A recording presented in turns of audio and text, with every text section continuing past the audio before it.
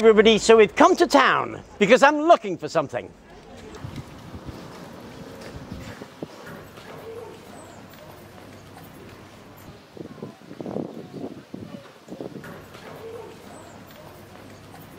And this is what we're after. It's a humming top. Now you're only going to find something like this in a really good traditional toy store like Kids Corner here in Herne Bay where I live.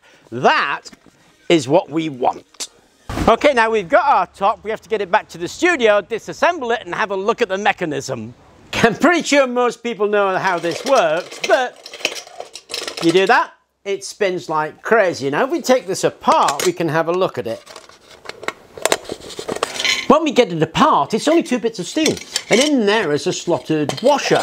This twisted bar pushes through the slotted washer because you're holding the bar, of course, all it can do is spin and spin it does. Now this is the same mechanism that you'll find in twist and pump drills and this is a really simple mechanism for the heart of this. But there's one other thing that this has that's not immediately obvious and that is it's a top. So it is also a flywheel. So if we add a flywheel to this twisted bar mechanism, we can make a very simple generator.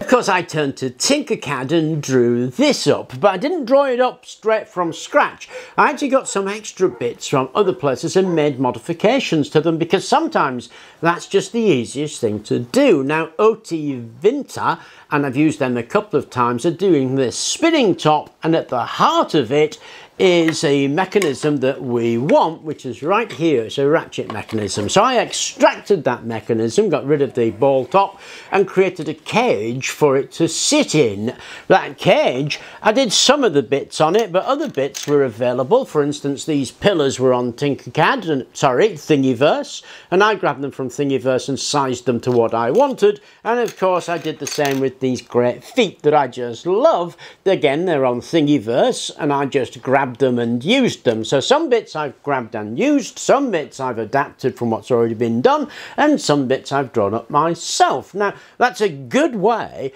of getting a model off the ground really, really quickly. So it puts together really easily and that's how it puts together. Now in there is a thrust bearing at 47 by 25 and it sits there because that is the main bit that's going to rotate. You can see it's got holes in it to take the magnets and that sits nicely on that thrust bearing. So when we spin it, it spins nice and freely. Now the drive mechanism is this clutch plate here and the only thing to remember is to get these the right way around. When you look at this clutch plate you'll see a little sort of red projection and the green projection goes onto the red because that's the way the clutch works. And then drop another identical thrust bearing into the recess in the centre and then we can put the clutch plate in. And there we go, like that. Now, in order to get that flywheel effect, what I've got here is a two and a half kilo barbell. And that sits on top there and fits directly on there. And that forms the flywheel portion. Then we can shove the handle in and give it a go. Okay, so I've put a serpentine coil around it, and to make these I put a link at the end of this video to the serpentine coil making video, and then in the carrier what we've got are some 20mm magnets. They're 20mm by 4.5mm, and they are arranged north, south, north, south, north, south. That drops in there. Then we've got a cap that goes on here.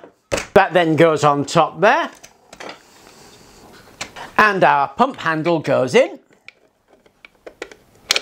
Then we have to put that stop on the bottom because when you pull that up, you don't want to be pulling it out all of the time. So put the stop on the bottom and either glue it or screw it in. Okay, so clearly a child would know how to use this. So I'm going to pump it up and down and we're going to get a volt reading. And for that, we've got Luke.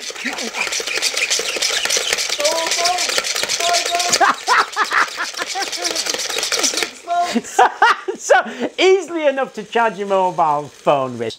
This serpentine coil and magnet arrangement is not something everybody loves. I love it, but it's not something everybody loves and I can understand that. This motor, of course, is absolutely everywhere, but what we're doing applies to any of this kind of motor, irrespective of the size, because if we take that apart and pull it to pieces, what we'll get is this. This is a really popular motor.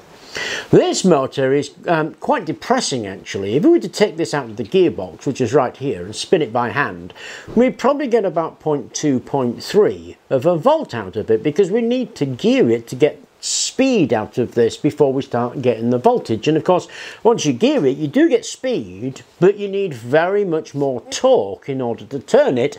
We don't have a lot of available torque. So it would be really cool if we could change this motor, which is a brushed DC motor, into a brushless motor that had low RPM, low torque, but high voltage output. Now in order to do that, what we need to do really is have a look on the inside. Okay, now we've got it apart. There's the body and it has a bearing right there. And of course, down there you can see the magnets and they're um, oh, ferrite magnets, I think. Put that to one side. Here's the rotor. This is the cap. And on the cap, you can see the brushes there because it was a brush DC motor. If you look on the rotor, there's the commutator right there. And have a look at those coils. If we look at those coils, that wire is pretty thick, and that wire is pretty thick because it's got to take a lot of amps, but there isn't much of it. So what we're going to do is rewind this rotor. So as we follow that wire, we can see it begins there and we unwind it and it unwinds in an anti-clockwise rotation, which means it was wound clockwise. So let's unwind all of those. When you've unwound it, what happens is it goes into that section of the commutator. There's a clip actually on this, and then it comes out, and then this one, again, it's anti-clockwise. So again, that has been turned clockwise. So there's a start point, turn it clockwise, into the clip, out, turn it clockwise into the clip out, turn it clockwise and finish it. Now there's 24 turns of 0.6 mil gauge wire. And there we go, now I've got 150 turns of thinner wire on. Now I have a choice here.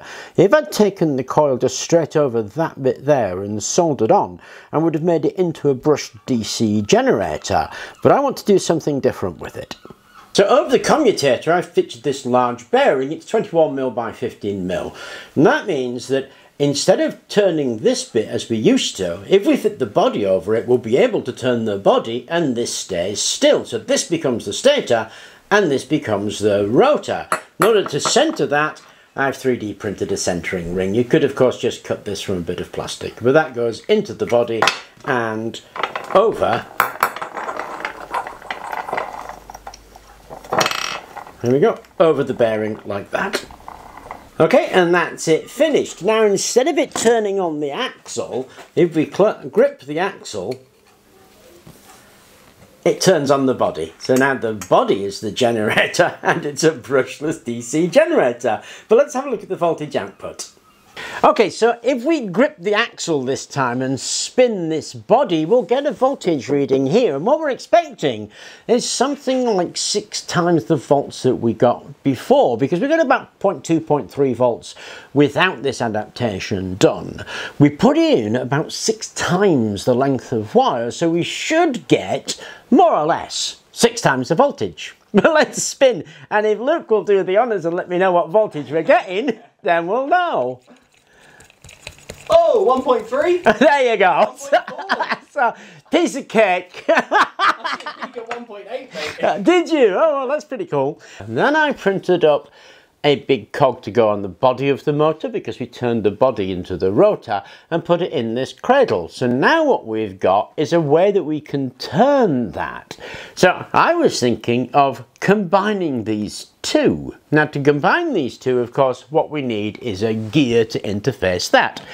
And there's a massive gear that will go on that. So if we turn that gear, we'll turn this generator and we should get some generation. So to do all of that, we're going to adapt this. We're going to adapt this to include this. Incidentally, all of these files I'll put together as a project so that it will be um, one set of files to produce this kind of generator. So this one is already on Thingiverse, but I'll put together as a separate project so that you don't have to go through this route if you don't want to. Anyway, in order to convert this to run this, the first thing we need is a gear, and the next thing we need to do is get rid of the magnets and the coil arrangement. So this, it's just a reprint of this, but without the little projections to wind a coil. And this is just a reprint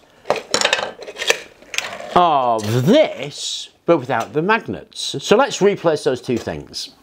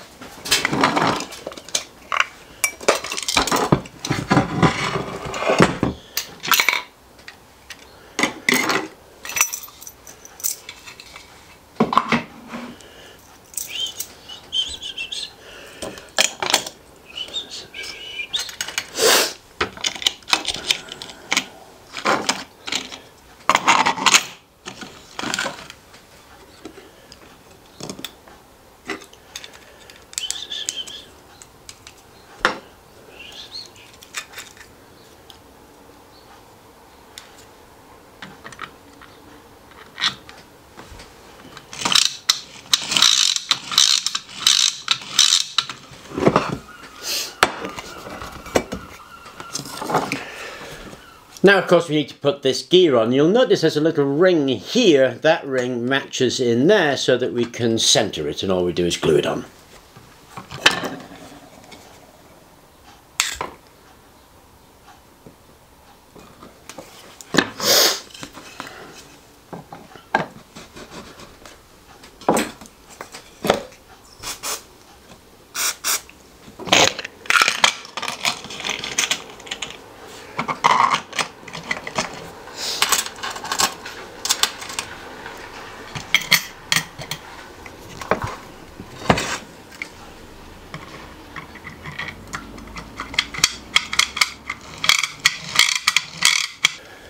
We've done that, we can put the ratchet in and there we go. We use our handle pump on there. It'll spin that gear. And of course, it's still a flywheel, so we can still put the flywheel on it. And that goes on top of the gear like that. There we go. Now we can interface this right there. So we spin that. There we go. Our generator spins. Okay, so that's it put together. Now this big cog here has 100 teeth and this one on the body of the motor has 30 teeth. So it's round about a 3 to 1 gear ratio, which is not a massive amount, but let's give it a pump and we'll see what we get.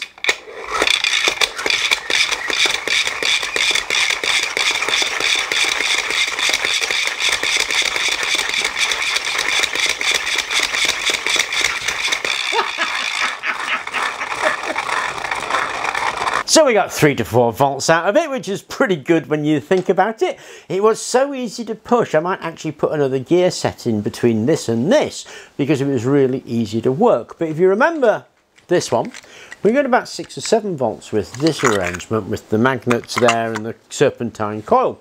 It's no real surprise, of course, because this one, remember, is using ferrite magnets, which are not particularly strong. That one's using neodymium magnets, so the magnetic field is very much stronger.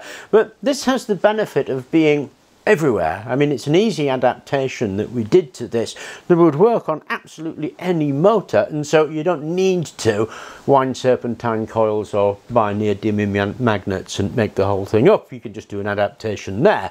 Anyway, I thought that was fun. I hope you enjoyed the video. Thank you very much for watching, and please do remember to like and subscribe.